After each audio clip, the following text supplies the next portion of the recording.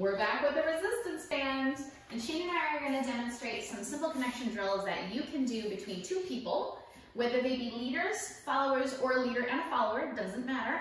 It's all good to be feeling the resistance and the opposition. I put in my left hand, Keri puts in her right hand. We get our elbows off our bodies because that's really, you don't want to dance with your arms tucked in.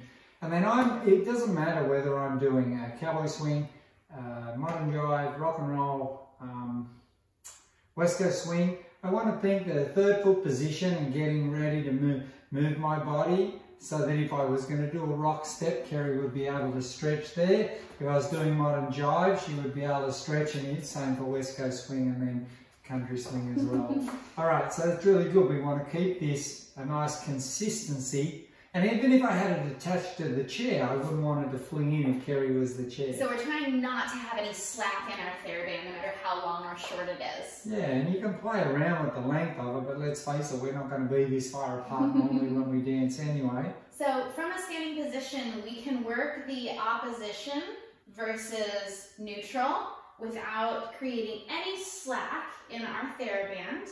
And this is a great spot to think about posting. And for those of you that have never heard of the posting concept before, if we had a post sunk into the ground, our TheraBand would stay midway over that post. So if I had a dotted line right here, kind of like um, tug of war, we would put that dotted line over right. the post and as we do our opposition and our neutral, that dotted line would stay lined up over that post.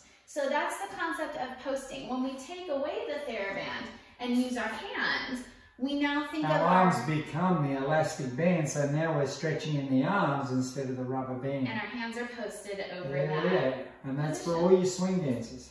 All right. We can also do this traveling forward and back because that does make it a little bit more tricky. Shane can walk it forward or backward, and what I'm going to do is try to maintain the tension in the and there he rocked a little bit, so you saw how I changed weight. And then when he's ready to come forward, it's my job to keep up the tension so that the TheraBand doesn't slack.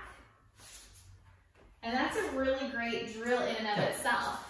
Yeah, and it takes a little bit of concentration actually because you can feel the band change. And that's my job to adjust in the connection for my partner or vice versa. So it's a great little drill. And when you do it with a chair or something, you'll go, oh, it went slack. How did that happen? Well, you did something with your arm. While you're doing this exercise, we can pass one another. If we stayed broad and apart, it would be more circular, like some of your circle swing dances.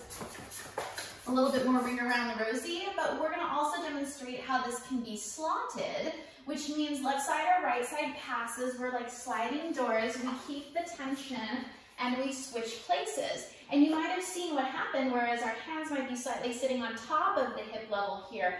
As we passed each other, it dropped a little bit low with gravity and allowed us to maintain that tension or not create slack.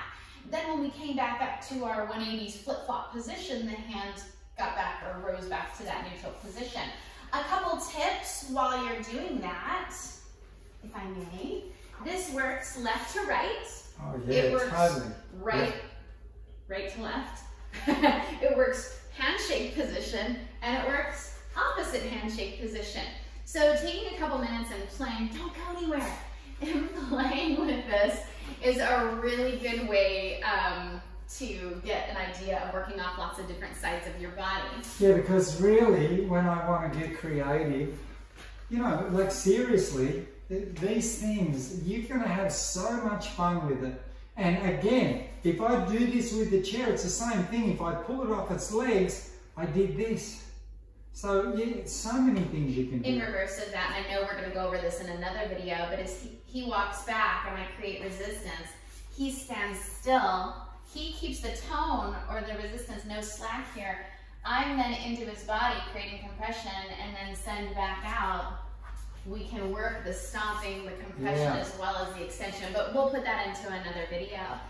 Just make sure that you're working into it slow before you start whipping it around the floor and really focus on keying into that nonverbal communication with your partner.